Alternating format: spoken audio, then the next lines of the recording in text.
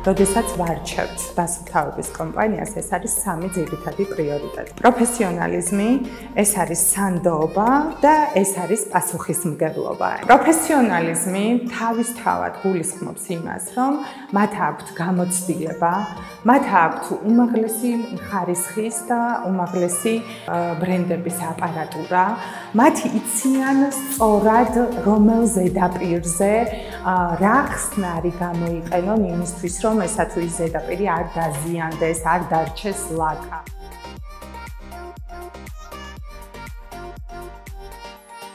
კომპანია ახლა სუფთასამყაროს მე არ ვიცნობ პირველად მისარგებლია მათი მომსახურებით არაერთხელ და სწორედ ამიტომ არის ეს ჩემთვის ნომერ პირველი კომპანია რომ მე მათ ვენდობი.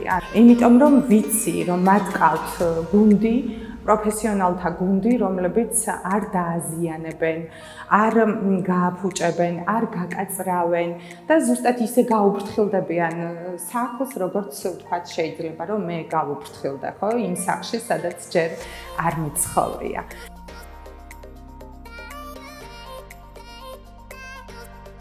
მეორე პრიორიტეტი, რაზეც მინდა გავამახვილო ყურადღება, ეს არის სანდოობა.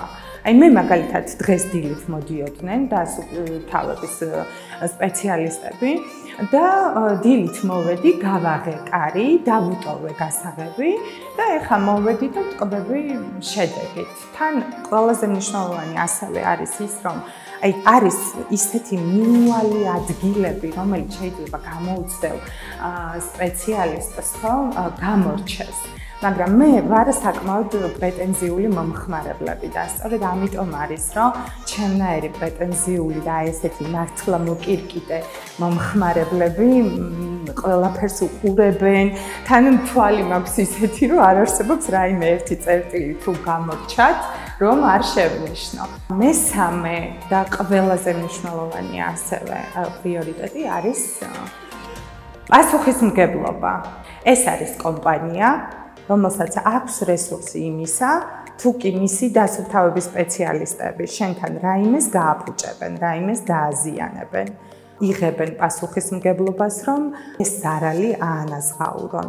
შესაბამისად, აი ამ ყველაფრის გათვალისწინებით ჩვენ ისევ და ისევ პროფესიონალიზმთან მივდივართ, ისევ და ისევ მივდივართ გამოცდილებასთან, ისევ და ისევ მივდივართ კომპანიის სანდოობასთან და ამას როცა ვამბობ, ანუ შენ რეალურად იღებ იმ შედეგს და ეხა ხუმრობ ხშირად ამ თემაზე, რომ რეალურად იმ შედეგს იღებ და ის ჩამოგდის რაც გამოიწერე.